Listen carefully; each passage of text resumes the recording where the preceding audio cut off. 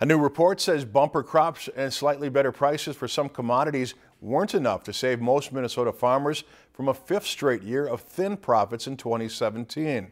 The annual anal analysis, analysis from University of Minnesota Extension and Minnesota State Colleges and universities finds nearly one third of Minnesota farmers saw their net worth decrease in 2017.